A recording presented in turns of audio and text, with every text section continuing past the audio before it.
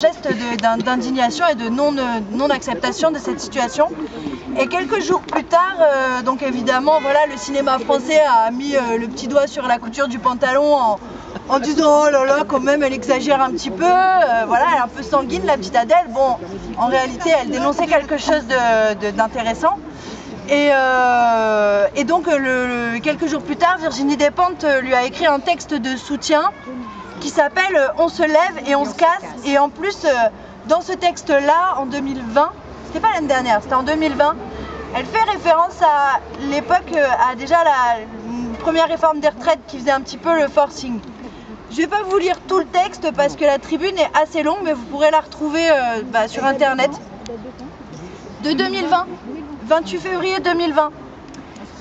ouais, je peux vous lire une partie de l'intro et puis je vous lirai la fin.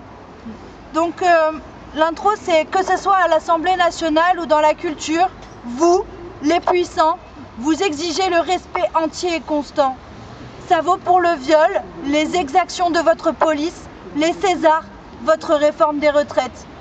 En prime, il vous faut le silence des victimes. J'arrive à la fin du texte. Oui, on est les connasses, on est les humiliés. Oui, on n'a qu'à fermer nos gueules et manger vos coups.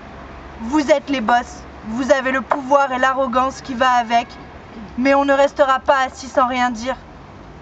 Vous n'aurez pas notre respect, on se casse. Faites vos conneries entre vous, célébrez-vous, humiliez-vous les uns les autres, tuez, violez, exploitez, défoncez tout ce qui vous passe sous la main. On se lève et on se casse. C'est probablement une image annonciatrice des jours à venir. La différence ne se situe pas entre les hommes et les femmes, mais entre les dominés et les dominants. Entre ceux qui entendent confisquer la narration et imposer leurs décisions, et ceux qui vont se lever et se casser en gueulant. C'est la seule réponse possible à vos politiques. Quand ça ne va pas, quand ça va trop loin, on se lève et on se casse et on gueule et on vous insulte.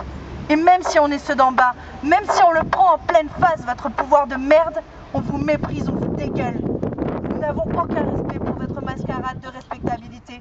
Votre monde est dégueulasse. Votre amour du plus fort est morbide. Votre puissance est une puissance sinistre. Vous êtes une bande d'imbéciles funestes. Le monde que vous avez créé pour régner dessus comme des minables est irrespirable. On se lève, on se casse, c'est terminé.